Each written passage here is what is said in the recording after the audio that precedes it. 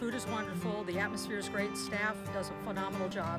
It's just all the way around a uh, good value for your money.